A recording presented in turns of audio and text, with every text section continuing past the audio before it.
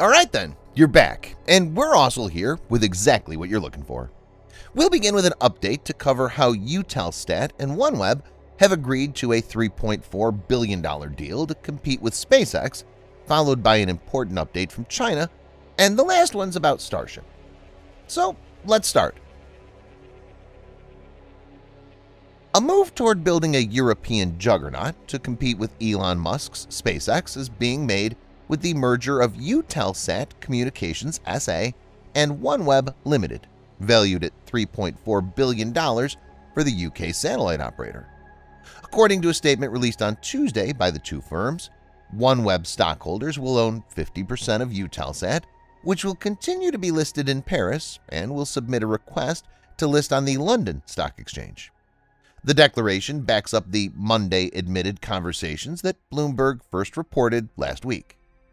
The agreement is the most recent merging in what's evolved into a competition between businesses and governments to provide quick access via low-orbit satellites. OneWeb and Eutelsat are both owned by the UK and French governments, and the UK will continue to have a unique share that grants it some veto power over business-related decisions, like where to locate the company's headquarters. The arrangement has the appearance of a takeover by Eutelsat even though shareholders will split the firm. The combined group's low-orbit business, which will have a principal listing in Paris, will be run by OneWeb while maintaining its own logo. Dominique D'Hinnin, chairman of Eutelsat, will serve as the combined company's chairman, with Sunil Bharti Mittal, chairman of OneWeb, serving as vice president. The new organization will be led by Eutelsat Chief Executive Officer Eva Berneke. When lead investors withdrew their funds at the height of the coronavirus pandemic in 2020, OneWeb, which had been founded in 2012, collapsed. As part of a $1 billion partnership with Bharti Global, the UK government contributed about $500 million. Dominic Cummings, a former advisor to Prime Minister Boris Johnson, promoted the deal under the pretense of securing a potentially crucial tech asset in the event of Brexit. According to the firms, the merger will provide Eutelsat a unique position in the market and might lead to increased revenue of $1.53 billion, investment, and cost synergies. Despite pressure from European regulators, Eutelsat has continued to offer a few satellite services to Russia. According to its website, it reaches 50% of houses in Russia and its surroundings.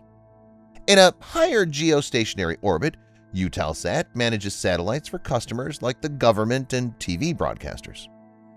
The geostationary Earth orbit satellites from Eutelsat and the low-orbit satellites from OneWeb will be combined in the new company. Initial investment in OneWeb was underpinned by our strong belief that the future growth in connectivity will be driven by both GEO and LEO capacity, according to Berneke. Let's take a look at an update from China.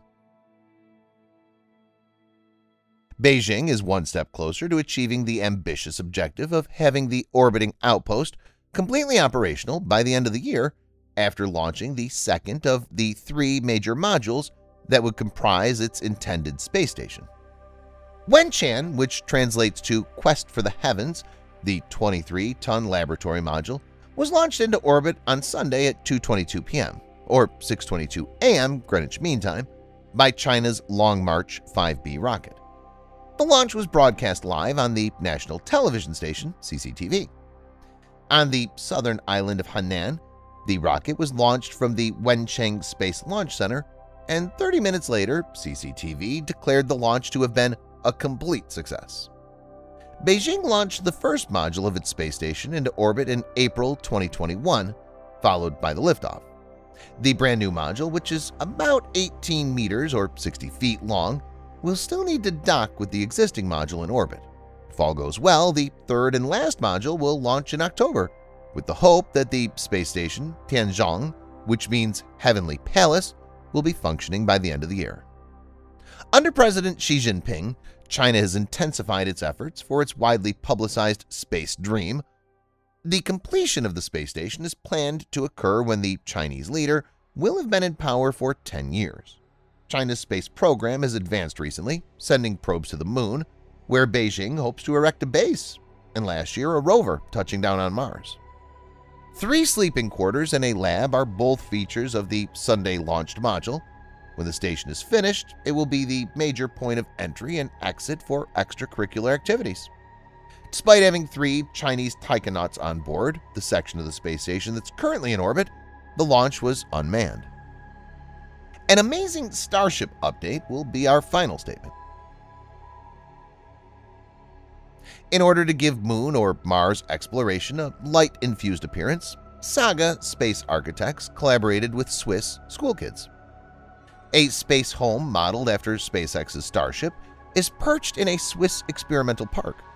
Years were spent developing a prototype for future astronauts that would fit within the body of SpaceX's potent Starship rocket by school-aged pupils at Institut auf dem Rosenberg, ranging in range from 6 to 18.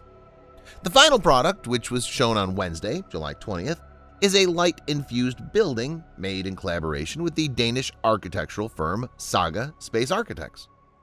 Analog astronauts can work and unwind in special areas of the three-story structure. As per Bernhard Gademann, Director General of Rosenberg, our aim is to provide future leaders with early exposure to the question of advanced space exploration, allowing our students to approach and solve complex questions from a collaborative and holistic point of view. Rosenberg added, not to fear technology, but to embrace it and design it to its next generation. They believe that the in-house research in their habitat will help upcoming lunar explorers since it will demonstrate to students. As it gives greater versatility than concrete, which is utilized in most 3D printed constructions, polymer was chosen specifically for 3D printing, which makes it rather unusual. The substance does feature a UV stabilizer to increase its durability in anticipation of the intense ultraviolet or UV light that would be present on the surface of the Moon or Mars. To construct a new structure if necessary, the habitat can easily be disassembled and the polymer recycled. Rosenberg claimed that the planned investigations will look at hardware, software, remote mission control systems, and sensory stimulation such as light, sound, and scent. Additionally, students will take part in projects designed to imitate systems thinking, the relationship between the components of a complex system and artificial intelligence. Thanks for watching. Please subscribe for more videos like this. Hit the like button if you find the video interesting, and kindly provide your valuable feedback in the comment section. This will help us to improve.